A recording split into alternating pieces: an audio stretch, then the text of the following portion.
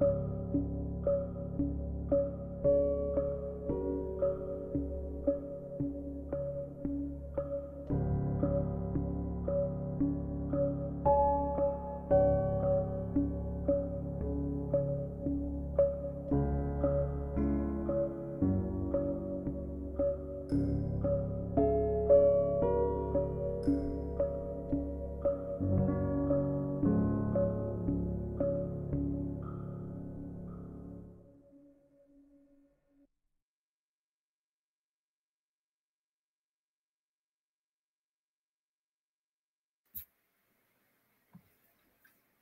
Jess, hi. I'm me. Oh, kia ora. We're here. Kia ora, Tato. Kia ora, Raf. Kia ora, everybody out there. How's it going? Well, I mean, they, they say it's not a top live stream without a technical hitch. So we, we're carrying on that tradition very nicely. So, uh, yes, um, welcome. Thank you. How is everyone?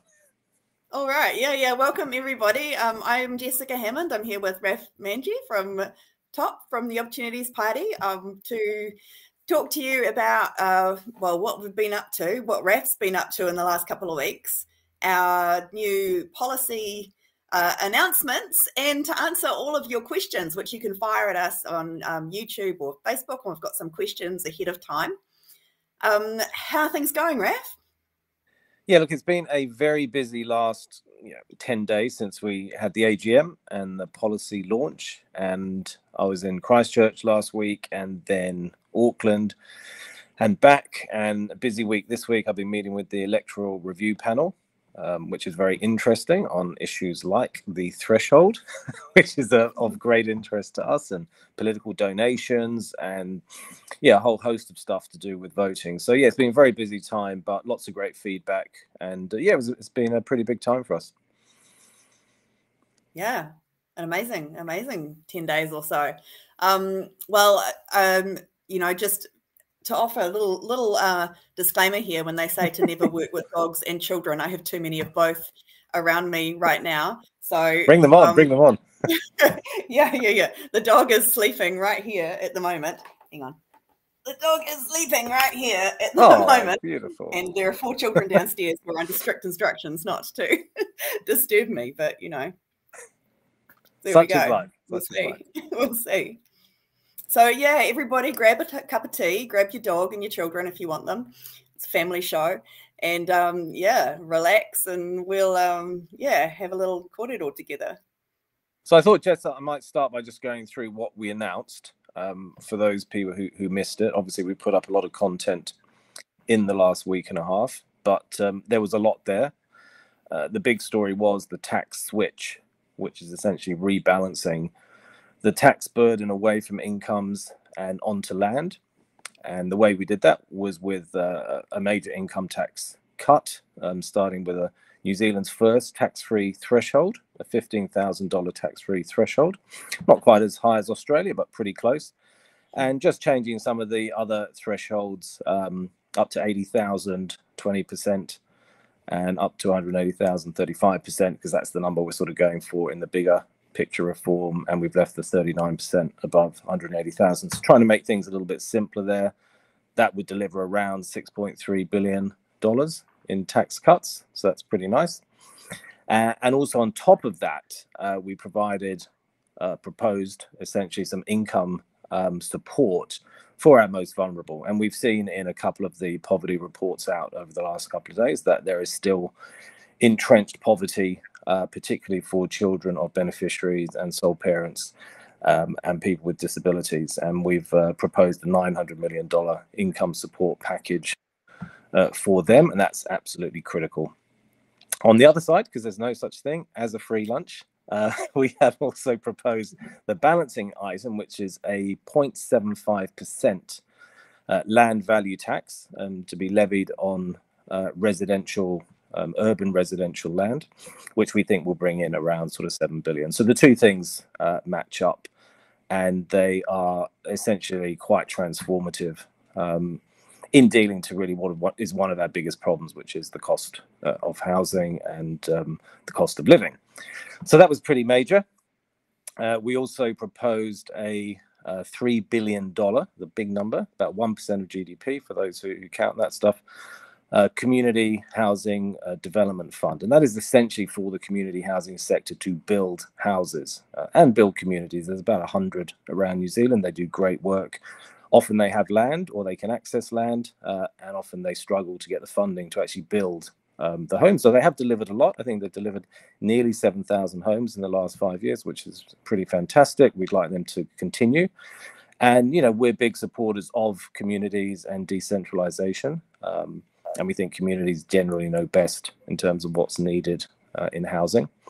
So that's pretty exciting. Um, and uh, last but not least, um, we have proposed a $2 billion write down of debt um, owed to MSD by beneficiaries. It's a massive burden and millstone around the neck of many people who have essentially borrowed money from MSD to basically pay living costs. And it's it's it's so hard for them to get out underneath that. Um, and forget about the cost of living payment. This is probably the best injection of cash you could give to people who are really struggling on average, yeah, I mean it's maybe four or five thousand uh, per person, but it is, has a huge impact. It's a balance sheet write off. We won't even notice it. And um, I think when you put all those policies together, uh, they have that kind of transformative effect that we're looking for um, without really costing us. We're not spending uh, any extra money. Um, the community housing fund is productive investment, and we need more of that. And uh, I think it's going, going to help solve some of the big issues that we have. So a lot there, a lot there.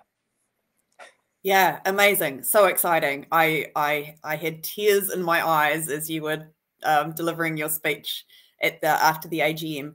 Um, kia ora, Kane, Greg, Calamity, and Thomas. They're the comments I can see um, so far. Before we get to your questions, Raf, um, some people might be a little bit um, uh, want to know more about how this relates to our previous policies, particularly the UBI.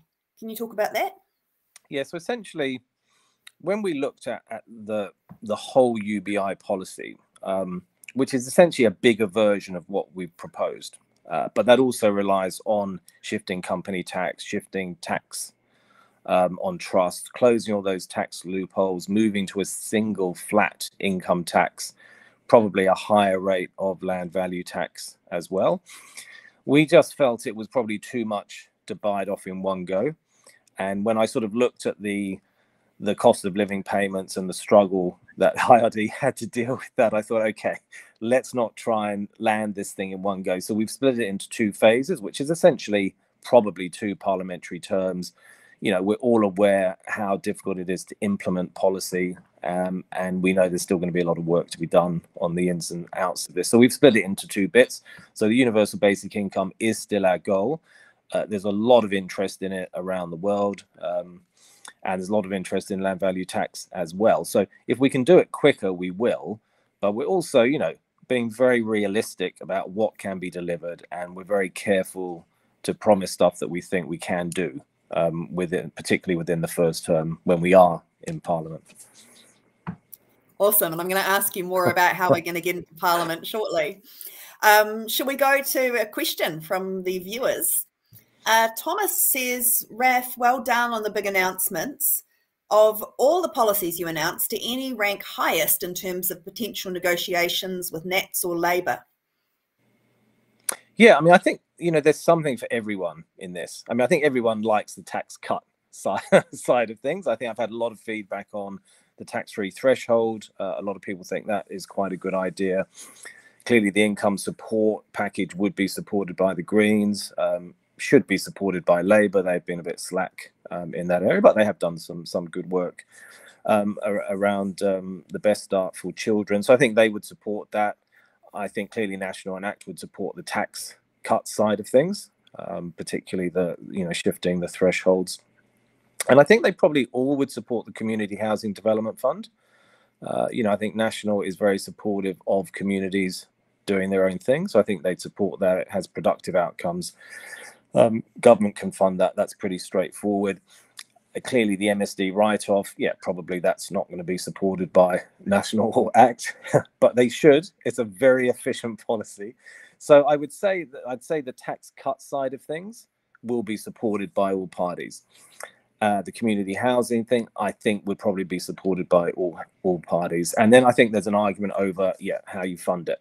Um, the thing is, the land value tax has always been a fairly standard liberal policy. Uh, it was introduced in New Zealand in, in the 1890s, and so who knows? A lot of economists from the left and the right have been supportive around this. So I think it's going to put some interesting conversations out there. But I don't think there's anything there that people would throw up their hands with and say, "Oh, that's that's a terrible idea." And it's been really interesting to see all the the commentary coming out from the left and the right in support. Yeah, no, I mean it's, it's good. I mean we're proposing good policies. We want policy that works mm -hmm. and policy that delivers. All right. Uh, should we have another question? Would TOP be prepared to abandon its tax policy if it was a stated condition during negotiations to form a government with Labour or National? Well, no, because that is our policy. I mean, I think we can talk about the electoral stuff in terms of how that is going to work. I mean, essentially, if we do get into Parliament, we can talk about Ilam a little bit later. You know, we'll we will win, I think, three to seven seats, depending on, on where the numbers lie. And we will be in Parliament. Uh, we will be on the crossbenches. We won't be going into government. And our job is to affect good policy and legislation and budgets um, from that position. And I think, in terms of a confidence and supply agreement, then sure, we might negotiate stuff. But there, there is, I can guarantee you, there will be tax reform on the table from all parties at the next election. And I think the next government will implement tax reform.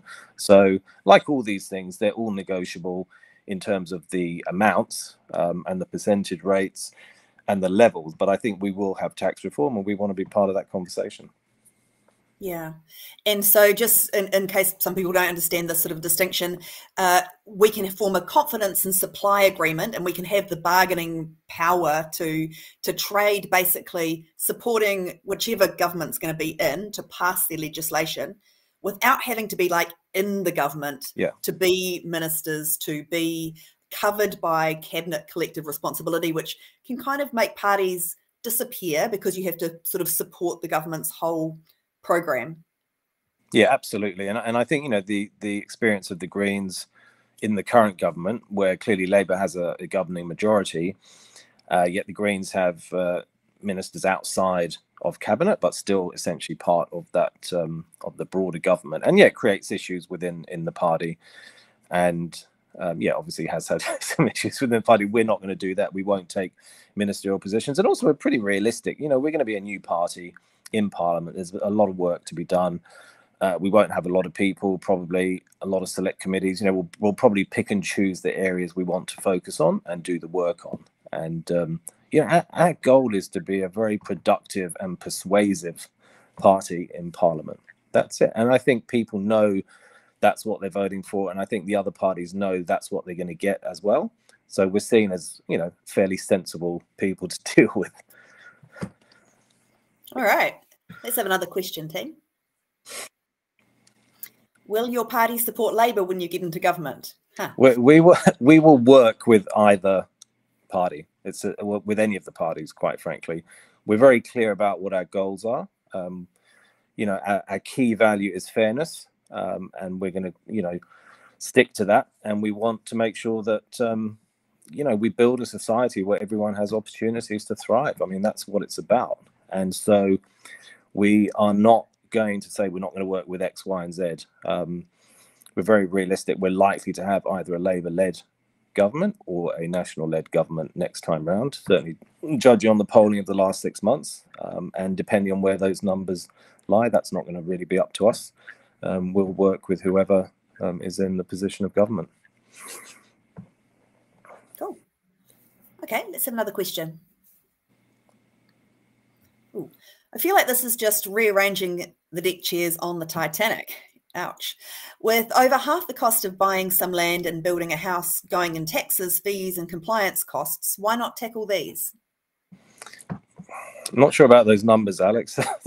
I've seen some of your comments on Facebook. Look, I mean, we do need, I mean, we need to have the most efficient system going. The way we do consenting, um, the compliance around building. Yeah, I mean, we need to really look closely at that certainly some of the resource consenting shifts around, um, you know, certainly through the national policy statement, and MDRS, you know, trying to smooth this stuff out is critical. There is a lot of red tape in building, so whatever we can do to bring that down will be absolutely helpful. But you know, but the land value tax is still a very powerful tool and, and extremely important. Yeah, and we've had a lot of policy, you know, around addressing competition in the building sector and things like that to to help with those other things. But at the core, when you have such a um, a tax advantage for property, that's where the money pours, and that drives up the cost of housing. Yeah, and, and one of the biggest drivers of of of the cost um, of houses in interest rates um, and the ability to leverage. I mean, there's a lot of issues around what determines the you know final price uh, of housing. And yeah, we'll be happy to work on anything that lessens the cost of building a home because that's absolutely critical. Yeah. Okay, next question.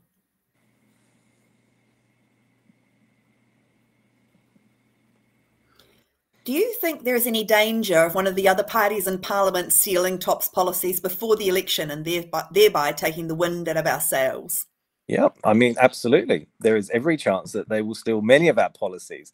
But we will still show we've got a pretty good boat that needs to be in the armada. And that's the reality. This is, you know, this is just one particular policy proposal package that we brought out. We have a lot more. And I think it's also it's the way we approach our policy that is the key. You know, we look at the evidence, but we also, you know, we want policy that works and delivers on the outcomes that we're looking for. So I think it's not just about having the odd great policy, it's about being a productive and collaborative political party in parliament and building on that. I think there is a strong role for the type of values and the type of people that top, you know, brings. And I think that's only going to extend. But obviously, we've got to get in there and show um, that we can fulfill those uh, those great aspirations. I absolutely agree. And I also, to be honest, I don't think that there's much danger of Labour or National stealing our amazing policies because they're not secrets. This is like the best stuff from around the world, the best stuff that experts have been suggesting for sometimes decades. So it's not like they don't know that these things are great for the country. They're just not prepared to do them unless someone makes them do them. So I don't think. I mean, if if they would steal the policies, then then great. We could we could um, pack up and go do something else. But um, I don't think it's going to happen. And also, they'll probably go, "Have you got any more where, the, where those came from?" It's like, well, actually, as yeah, as it happens, um, yes. And you're right. I mean, you know, a lot of the stuff we're talking about, the the ideas are there. It's actually one, it's putting them in, packaging them in the right way, selling them in the right way, because people have to understand them, but also getting them implemented is is quite critical. And the public policy side of things is, you know, is not straightforward, and we're in a pretty complex world at the moment. So sometimes you know the more eyes over things the better. Yeah that's a really good point because while, while a concept like land value tax is very very old? We have shown a way that you can that you can have a land value tax and have more money in people's pockets and and packaging things up in that way. Um, i mean we're just we're not sort of a party that goes and um, promises amazing things and doesn't have the mature discussion about how you'll pay for them. Absolutely Next question, please. TOP's previous equity tax meant people paying mortgage interest had less tax to pay than full property value. Will an LVT always be on full land value, even with a mortgage? Yes. Yes, it's a it's a land land value based tax. We're, we're not getting into the equity and debt side of things in terms of tax. Um, you know, capital taxes have their uh, attraction, but they're awfully complicated to collect. One of the advantages of a land value tax, amongst many, is it's extremely easy to collect, and um, you know it's around in other countries. Um, plenty of states in the US are, are looking at it. Um, our land valuation system makes that quite straightforward. Now, if somebody came along and said, "Hey, we want to do capital taxes," and that's all we're going to support, well, certainly we'd have a look at that. Um, you know, but I think this is this is the way that we're going to go. Cool. Next, please. How does TOP want to approach agricultural emissions? Bit of a hot topic this week. Uh, also, student debt slash reducing barrier to studying. Um, I don't know if you want to do one or both of those. Wow, Benita, that's a, that's a quite a lot. Um, I would say actually, I think I'm attending a debt-free um, rally at uh, Vic Uni tomorrow at 1 p.m. So that that could be part of that question, and I, I think I'll probably, yeah, I'm open to conversations about tertiary education and um, who should pay and how much they should pay. The agricultural emissions, yeah, I mean that really is a hot topic, and I've been essentially listening to the feedback um, since the the proposal. Let's remember it's a proposal from the government um, has gone out. So the government essentially said, "This is what the farmers gave us, and we're giving it back to them." To consult on, which didn't really make a lot of sense to me. And of course, the farmer said that's not what we said, and it's a bit different, and, and whatever. I think I, I would look at it in in a, a couple of ways. Uh, obviously, when we're looking at methane and global warming potential, I don't want to get too technical on this stuff, but essentially, it's different to carbon dioxide. Needs to be treated differently. It's much more powerful from a warming perspective, but it's less doesn't last as long as carbon dioxide. So it needs to be treated differently. The issue with that is it is connected to food production, and that makes it a slightly different beast in terms of what we substitution. Uh, where transport, where obviously we have a lot of our emissions in terms of carbon dioxide, is substitutable. I mean, you can always walk somewhere, you can always bike, but you can use public transport. You can move to um, renewable energy, uh, electricity, and so on and so forth. So there are ways of substituting and decarbonizing our transport sector. Agricultural emissions are, are trickier. One of the issues farmers have is you get this leakage thing. So if we stop producing here, someone else produces overseas. Net net, that doesn't help with global emissions, but it impacts us economically. I would quite like, I mean, I, I, know quite a few farmers. I'd quite like the farmers to come up with something themselves, to come up with the levy themselves. And there's a reason for that. This is a marketing game. I actually think the people who are going to drive changes to agricultural emissions in New Zealand are the end consumers. So when the European Union says we require you to report on your methane emissions um, if you're going to export into the EU, head of sustainability at Marks and Spencers or Waitrose calls up Silver Fern Farms and says we want this information, they will provide it because the customer is always right. So I think I my sense is, and I've, I've, worked a bit in this field 20 years ago, um, is that the consumer will drive those those changes. So the, the most important thing, one of the things I really like is is the on-farm data. So really supporting farms to provide the data, collect the data, and yes, I completely support farmers to have um, you know credits for the the planting and sequestration they're doing um, on farm that's important. But the one bit, and we could talk about that for, forever, but the one bit that is really critical that farmers do have to do is to do with our domestic water quality. So that is something that we are doing some work on, and we're looking at things like the carrying capacity uh, of farming on particularly, um, let's say, vulnerable um, soils, particularly in Canterbury, where our water system is getting stuffed by nitrates. Now, that's a domestic issue the agricultural emissions in terms of methane is kind of an international issue and does need to be treated slightly differently. So, look, I think, you know, we have to have these conversations. I'd like the farmers to be smart. I'd like their marketing departments to go, actually, we're going to drive this because this is actually a sales issue for us. It's a customer issue. And I think we'll get there in the end. But obviously, the way this thing has landed is, is a bit sad. Unfortunately, it feels like you can't put any policy out these days without somebody, you know, taking offense to it. So, um, it's important, and I think there there is a way through it. And we will be releasing some extremely interesting policy on this next year. Can't wait.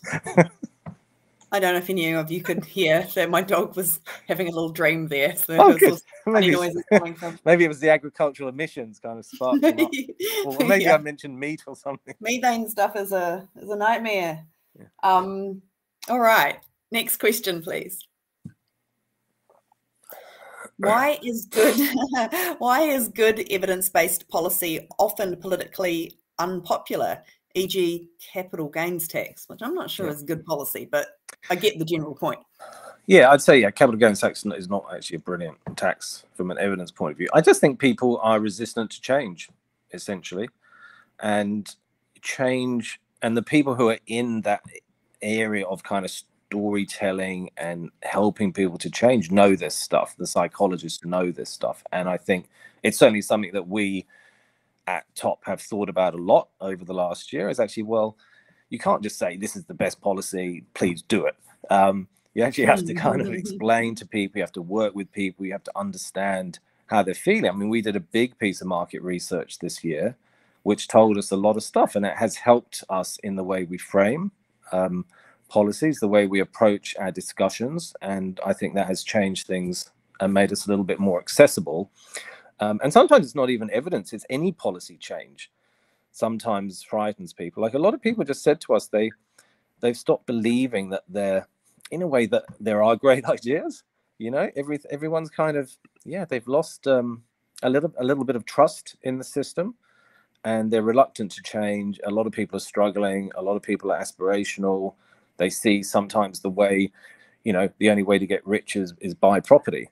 That's being drummed into them. So when you tell them that's probably not a great idea and that's not a great system to have, they're very resistant to that change. So again, going back to the emissions thing, how, how can we sit down with farmers and say, hey, you're doing a great job. Um, we, we need food, we need export receipts, but hey, this is a problem. How are we going to solve it?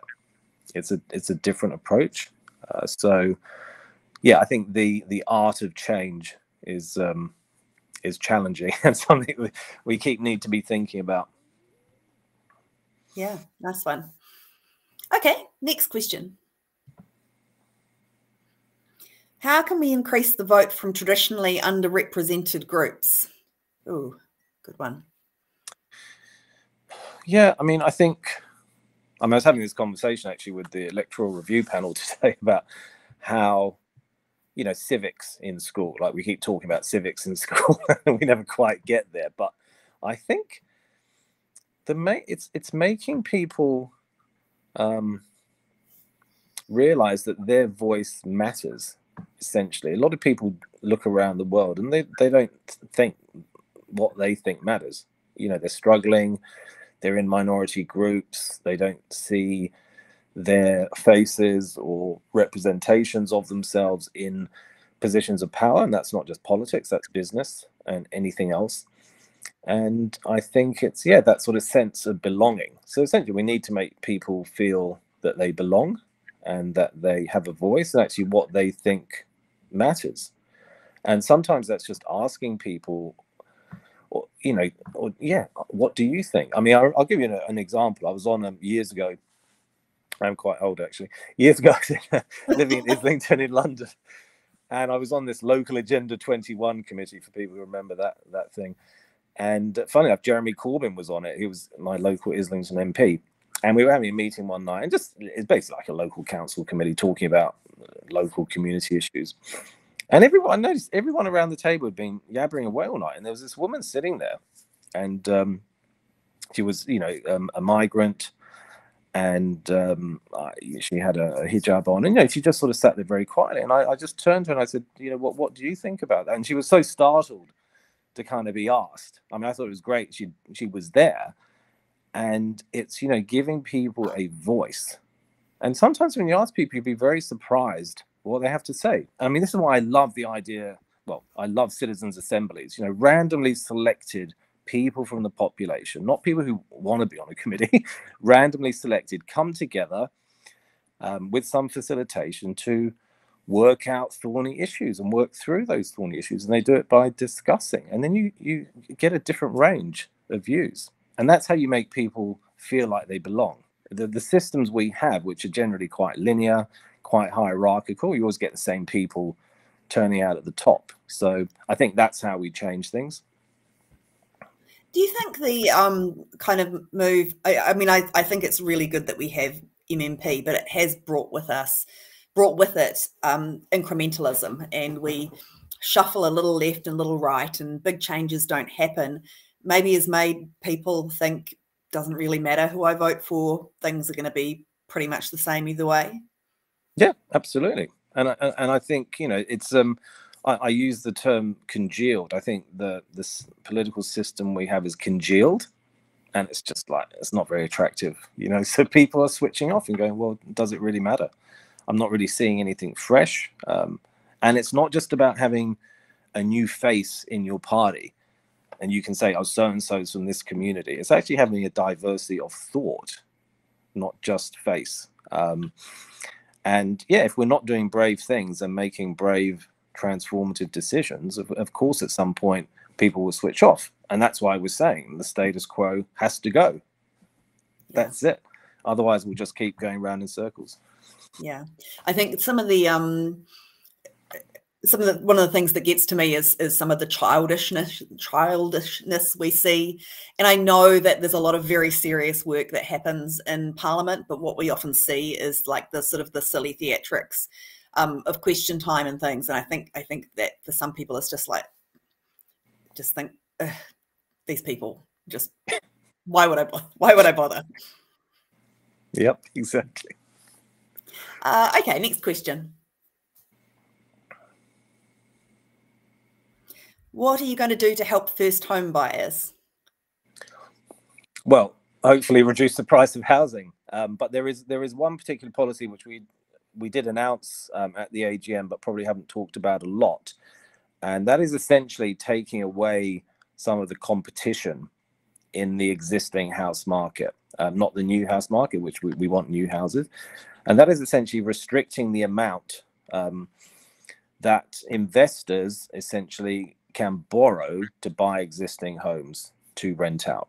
So they are competing with first home buyers, and they're the ones driving up prices and taking away uh, your opportunity to own a home. And the way they've been able to do that is they've been able to borrow essentially on the same terms as first home buyers, leverage up, but they've been able to leverage up often money they have or equity in other properties and then go and buy another property and then they rent it out and they rent it out at market rates. So it doesn't really help rents at all.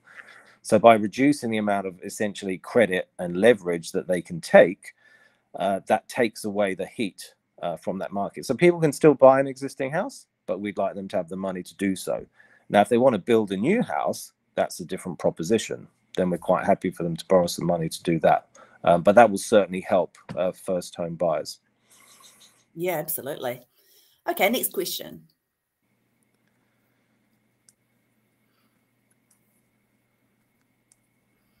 We have to chat amongst ourselves. well, our poor admins, we've been spammed by best adult dating sites. So maybe the questions have got a little bit buried. Um, how much can we expect the land value tax to push up rents? Yeah, it's a good question. I mean, the the the theory of land value taxes is essentially they they drive rents down uh, by reducing the cost of land, and therefore the person building on that um, land doesn't need to achieve so much rent.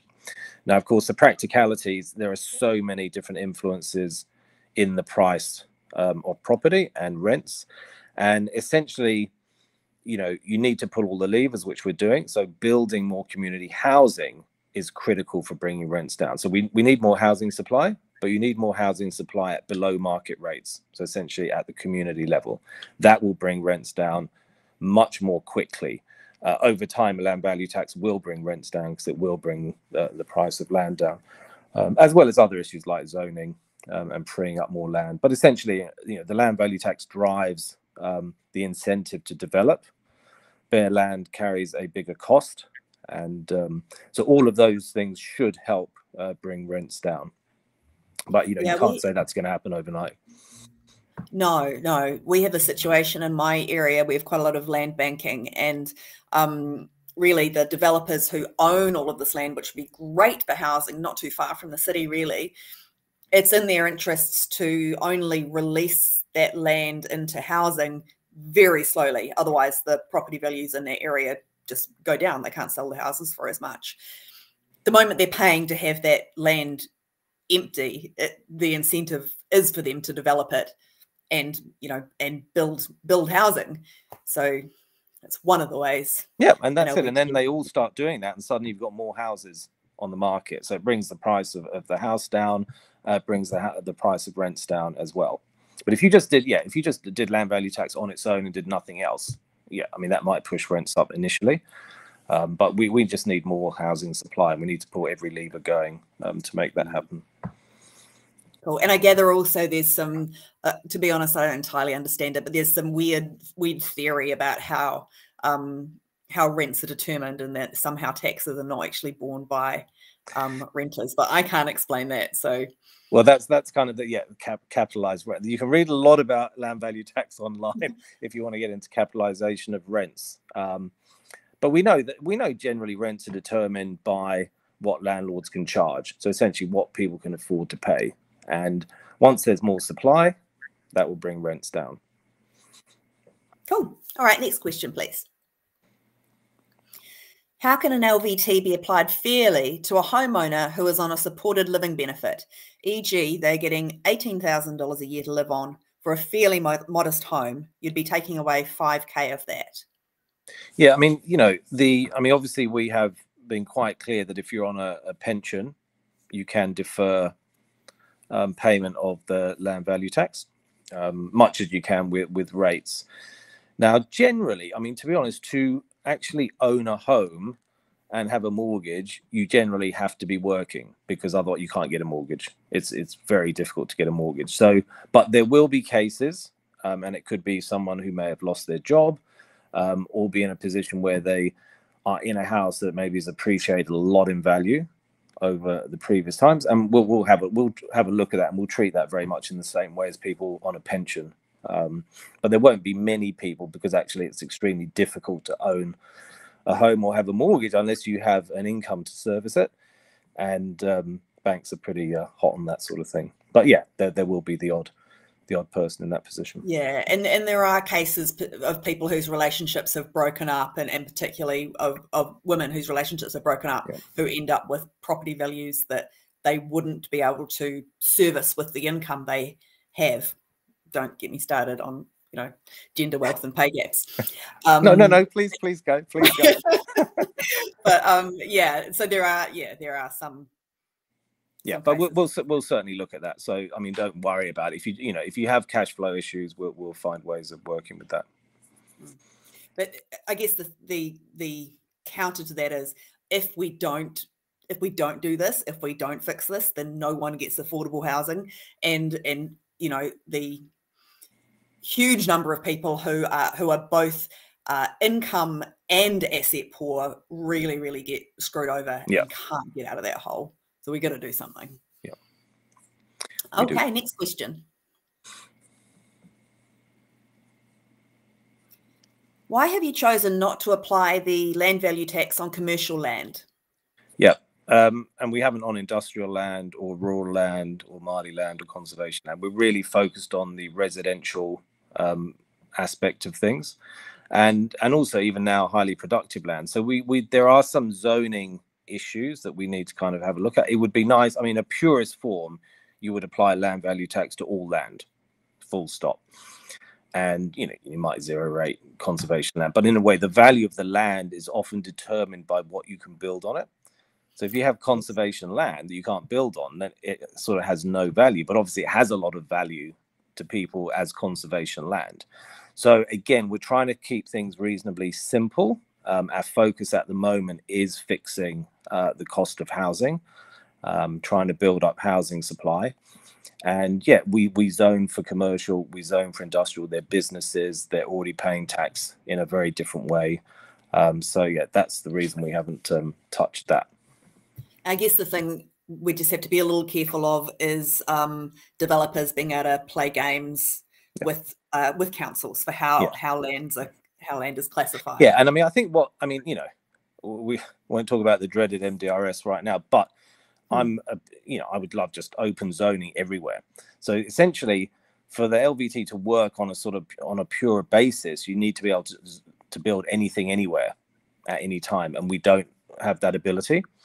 So I think what we want to do is is zone as much stuff residential as possible and bring that into into the tax framework. So for example, when I'm thinking, you know, in Wellington we have a lot of empty uh, office blocks.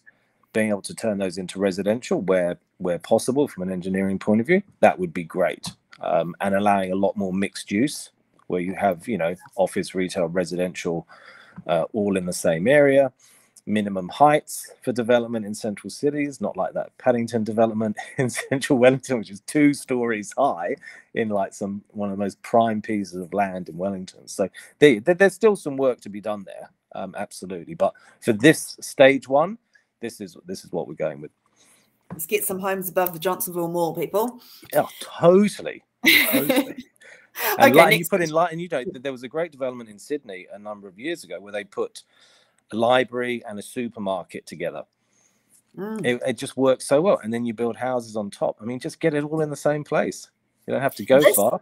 Little digression. I mean, this is the, this is the thing that I think is a little bit is a little bit missing is uh, from from all the talk about about zoning and the MDRS is people are talking about what is going to be taken away, but there's not really many people talking about the the amazing, vibrant, you know, walkable, connected communities that we can have if we if we just design for these things. Yeah, absolutely. So yes, we got a lot of work to do on on the zoning stuff. I think you know the the NPS UD, the National Policy, Policy Statement on Urban Development, was a good start. Um, the the MDRS was you know the right impulse. I think that there's a few a few changes they can make there, but I think it, it's the right thing to do. Um, and I think probably version two of the NPSUD will be uh, hopefully even better. okay, let's have another question. What is the top position on Three Waters? Oh, I'm glad you asked me that, Sam, because I'm just doing the policy at the moment. Um, and I, I, was talking at a conference last week in Christchurch, the IPWEA, which I think is the Institute of Public Water Engineers Association, if I'm right. This um, is a um, very ac- acronym. Yeah, and I, I, was on a panel. ART, um, if you prefer.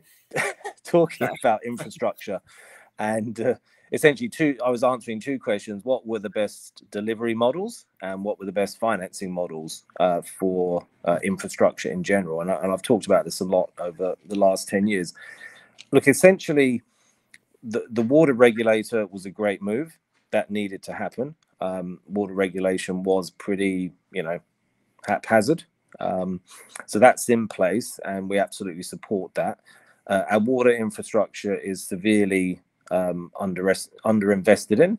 I think everybody knows that. Um, that needs to change. A lot of that has been due to the pressures on local government to deliver all kinds of services that it just didn't really have the funding to. And yes, maybe people sort of went for the shiny stuff rather than the uh, less uh, shiny um, stuff underground. And um, and also we you have to understand from a timing perspective, a lot of infrastructure around New Zealand was put in post-war, and it's all coming up for renewal. So I mean, I've seen all these charts for a long time. We went through this in Christchurch post earthquakes.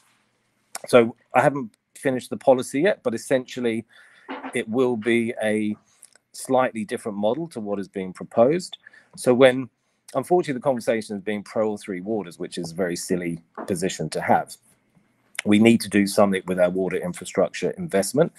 What I would say is I think the, the four entity model that has been proposed is not going to work. It's not going to work from a financial point of view.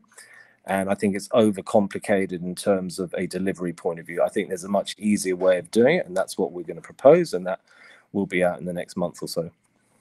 Can't wait. Okay, next question. Do you support tolls, especially if it streamlines our roading and infrastructure? I love talking yeah. about road funding. I, I, thought that's a trolls for a second. My, so I've got my glasses on tonight.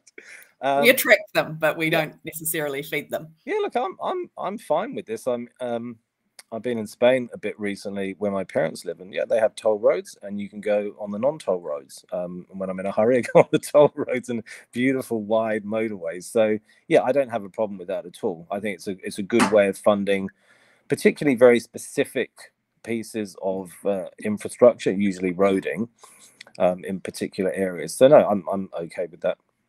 Yeah, and this is not this is not top policy. Yeah, I mean, this is, this is more your. Sorry, sorry what I'm about to say.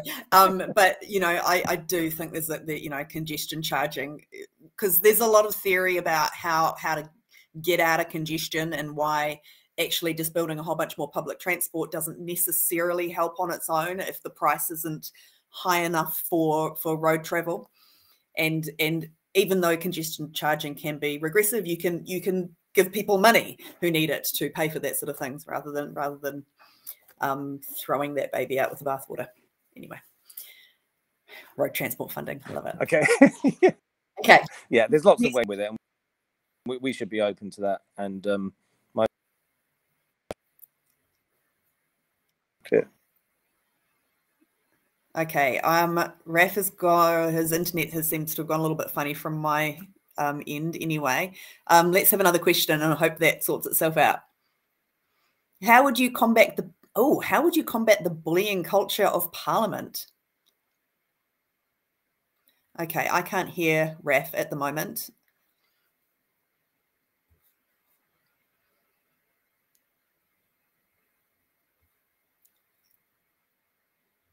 Can someone let me know uh, if the if the listeners can hear Raf?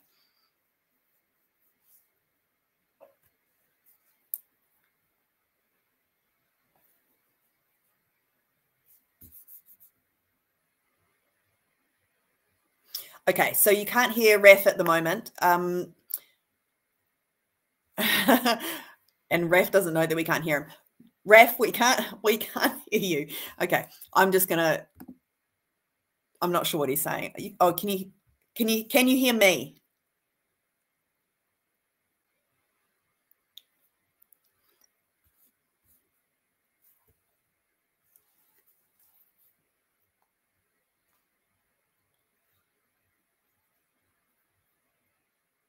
You can hear me. Sorry, thank you. I will keep talking then. I was just about to um, message the message the team. Raf, I don't know if you can hear me, but no one can hear you right now. So I'm hoping that someone on the tech team is getting in touch with you. We're probably, I'm guessing, about 10 minutes um, to go anyway. So I will say we've had a whole lot of questions, a whole lot of amazing questions, and um, we will get to those in the comments on Facebook and YouTube if we can't get them all today. Raf, do you want to try talking again? Can we hear you? Maybe he can't hear me. Um, how would you combat the bullying culture of Parliament? Um, I, I, guess all I can say is that we would come in and and model a different sort of a different sort of culture within our party. I don't think we can um, we can stop what the other parties do, but we can we can model the way we want to do things. And I certainly know the culture in top is incredibly um, supportive and kind of actually lovely. Kind of you know there's it's um, a party that doesn't have a whole lot of egos. And I think without big egos, you don't tend to get bullies. Um, let's try the next question. Raf, meanwhile, do you want to, can we hear you now? Do you want to try talking?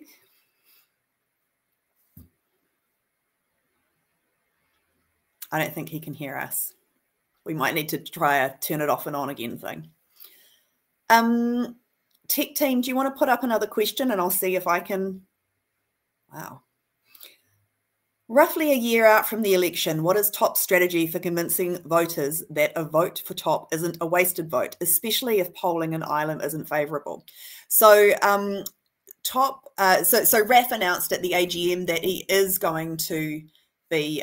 Uh, sorry, getting messages from the tech team that he is going to be running in Ilam. Um, and look, I think I guess if polling in Ilam weren't favourable, then we would have to have to change tack. Ōhāriu, where I live, is also an option. But I think polling in Ilam will be good. Um, if I recall correctly, um, Raf got something around twenty percent, or maybe I think that's right, in the 2017 election as an independent, um, which is absolutely extraordinary. Um, so he has a lot of fabulous support there. And I think the chances of Raf winning Ilam is excellent, especially with Gerry Brownlee um, stepping down. But, uh, you know, I, I, you know, that the, the, the thing about Ilam is not just that it's absolutely winnable for Raf, but also, as you say, it undermines that wasted vote argument. The wasted vote argument is a crappy one anyway you know the a, a, vote for what you believe in isn't wasted. It makes a difference in concrete terms to the party's funding. Um, but it also sends a sends a real signal uh, about what people want. Uh, we're just trying to get Raf back but let's move on to the next question. Can see you Raf but still can't hear you unfortunately.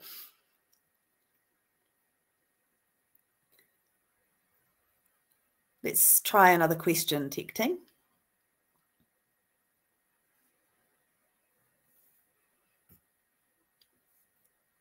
sorry about this, about these tech problems, team.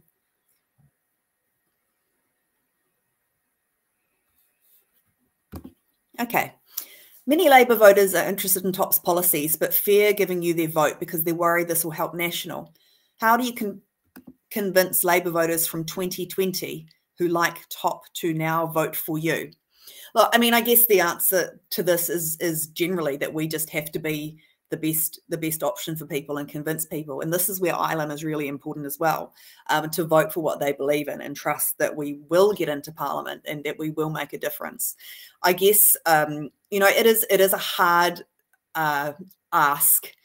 People either believe that Labor and National are you know are more or less the same, or they don't. And a lot of people really do believe that one side um, is uh, you know brilliant and the other side is the devil, and you're probably not going to be able to um, convince those people. But I think there are a lot, an increasing number of people who are quite tired of the uh, left to right shuffle and um, really want us really want something that's going to going to make a difference.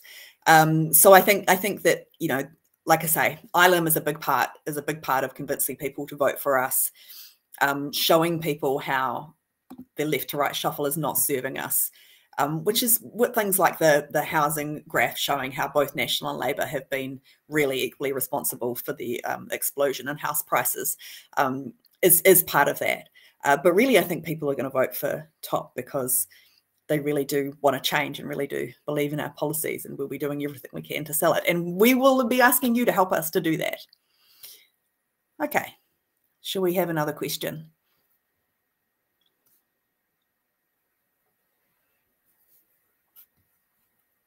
Uh, Raf, I can't. Oh, hang on. Here he is. Yes. Can you hear me? No, you yes! You can. yes. Yay. Woohoo. I was just telling everybody that we're going to overthrow you, and um, yeah, sorry, we weren't saying anything of the sort. we're talking about talking behind your back. Um, That's okay. That's okay. Cool. Uh, hi again. What evidence would you most like to see considered in the upcoming electoral system review, e.g., youth voting, MMP threshold, blah, blah, blah, lots of things. You can read that, can't you?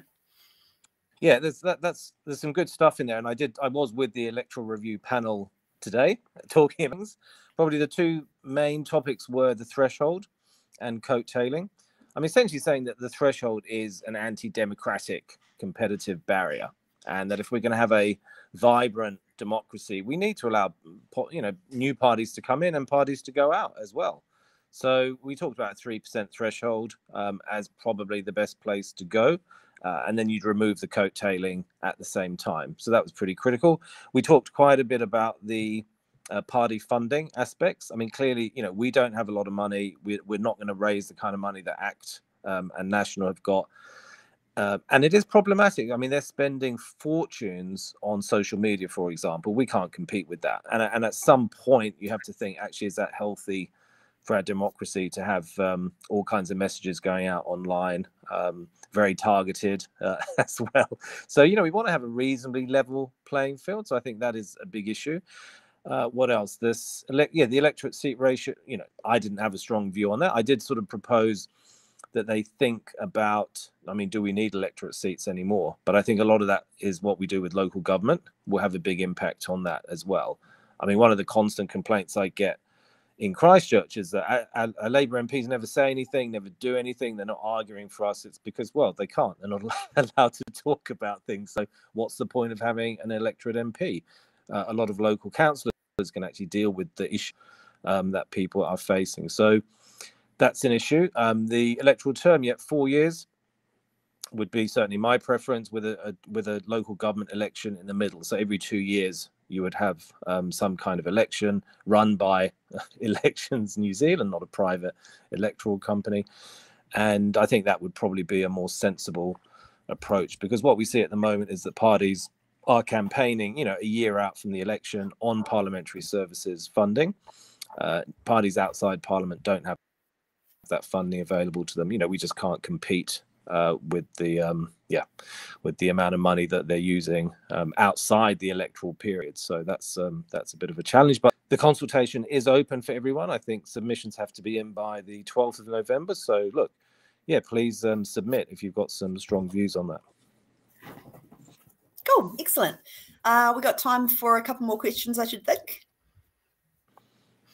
Will TOP join with any other parties to form a working coalition, ET with Te Pāti Māori? Yeah, again, I mean, we are pretty clear. We're happy to work with anybody. Um, and obviously, Te Pāti Māori has, you know, some pretty good policies which, um, you know, match up with ours in a lot of different areas. Uh, but, you know, we're not looking at going into formal coalitions um, with parties. A few people have just, don't you team up to break the 5% threshold? Well, yeah, you can do that. I mean, but that's not really what we're thinking about. Cool. All right. Another question. What are you going to do to help schools? Infrastructure isn't coping with rising population, especially in Auckland, and schools slash teachers are struggling. Hmm. Well, we, I mean, this is a good question in terms of our approach to public spending. Again, which we'll probably talk a bit a bit more about next year. But we will invest in the public services that we need to service our population in education um, and health, which are two absolutely critical areas. If we can't get those right alongside housing, we have so much downstream cost that it's ridiculous. And I think sadly labor has wedded itself to you know outdated and unnecessary debt to gdp rules. Um, they run a kind of austerity approach to things and you know it's just ridiculous. So that, so we will be taking a very different approach to that and we will spend within the capacity of being able to deliver and we will look to upgrade our schools and our hospitals and invest more in education and health. And um, as long as we're investing in stuff that has good productivity outcomes such as healthy schools and healthy hospitals that is a huge win for us so we won't be bothered about spending a bit more money uh, in those areas hallelujah Um, this is going to be our last question. I'm so sorry. There have been so many questions that have come in. Thank you so much for all the questions and so much for your patience with our, our tech issues. And as I say, we will get to the questions um, online. Uh, so let's have our last question. Will the top YouTube channel be making another video series of some sort, similar to Policy in a Minute with Geoff Simmons? Yes, we are. In fact, we, we I spoke about that with the team the other day. It's going to be called Policy in 60 Seconds. so yes, we will be doing that. I'm, I'm, sure we'll get Geoff back for a few of them as well, and Jess, and yeah, it'll be fun. It, it's a good way to explain things quickly. Um, we tried that with a few of our kind of what's topical um, videos, and so we're trying a few different formats, and, and we'll see what works. But it certainly, yeah, it certainly was a very successful uh, way of communicating ideas, and Geoff and, was brilliant at that, and so was Jess. So we'll certainly do more of that. So yeah, keep your eye and, out for it. And on that note, we are after volunteers uh, as videographers. So if you can get in touch with uh, volunteers at top.org.nz or get in touch with any of us, we would love to hear from you if you can help with those videos. Also, um, Top now has a TikTok account. That's uh, you know, I I often think that you know if you can't explain an idea in one minute then it's you know it's just too complicated. It's a great discipline it's a great discipline for us but it's a yeah it, i mean Geoff did a fabulous job of getting those ideas across in a minute. It's absolutely possible.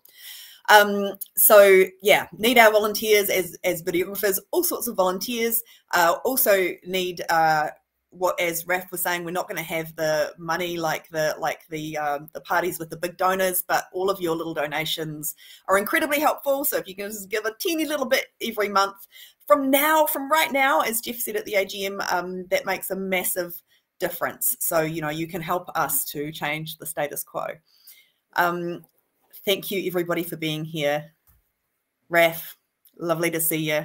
and you too. Look, sorry about the technical stuff. I think actually what happened is my iPhone battery was on low power and it obviously switched off the, uh, the sound. That's why I'm holding my phone because it's charging at the moment. So yeah, sorry about that. And and look, if if there's demand for this, we'll do another one um, next month as well. Awesome. And thanks for hosting. Thank you, everybody. no, no.